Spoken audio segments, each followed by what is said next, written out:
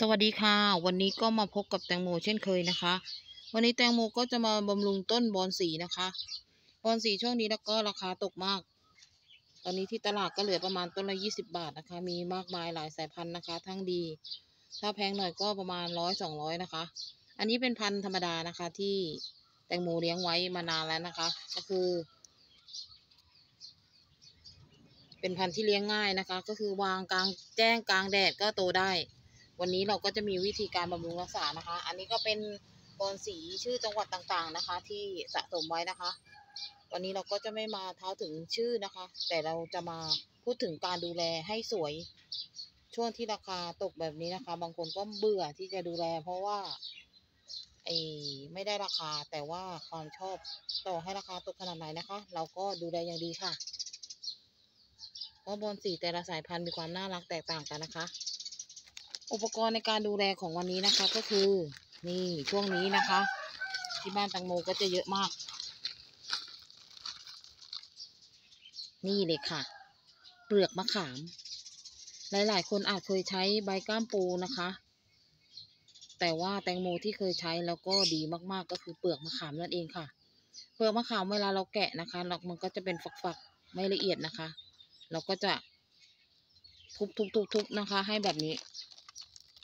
แล้วเราไม่ต้องทำให้ป่นมากจัดนะคะ บางคนป่นละเอียดยิบจนเกินไปนะคะ เพราะว่าการป่นจนเกินไปเวลาผุเดี๋ยวเขาก็ผุค่ะ เราไม่ต้องเน้นว่าละเอียดมากละเอียดน้อยนะคะ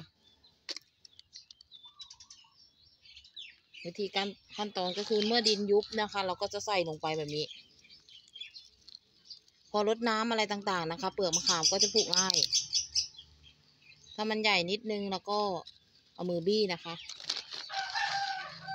แล้วก็ใส่ไป เปลือกมะขามนี่ใส่เมื่อตอนดินยุบนะคะ เพราะว่า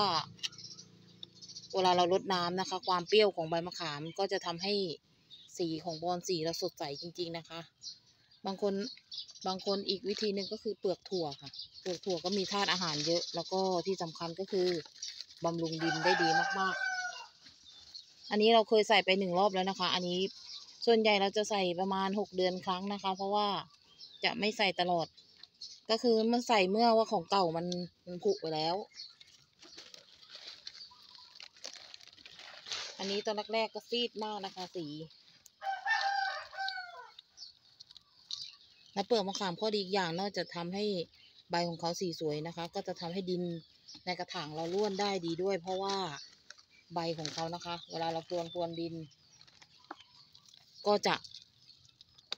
เพิ่มช่องโปร่งในอากาศนั่นเองค่ะ อย่างฤดูนี้นะบางบ้านก็อาจจะบอนสีอาจจะฟักตัวนะคะ แต่ของบ้านแตงโมไม่ฟักนะคะ เพราะว่าเราเปลี่ยนถ่ายดินตั้งแต่ก่อนฤดูหนาว เพื่อให้เขาสวยตลอดทั้งปี วิธีเลี้ยงแบบนี้นะคะ คือเราเลี้ยงกลางแจ้งนะคะ บอนสีที่บ้านจะไม่เลี้ยงในตู้ เพราะว่าเราจะซื้อสายพันธุ์ที่มันทน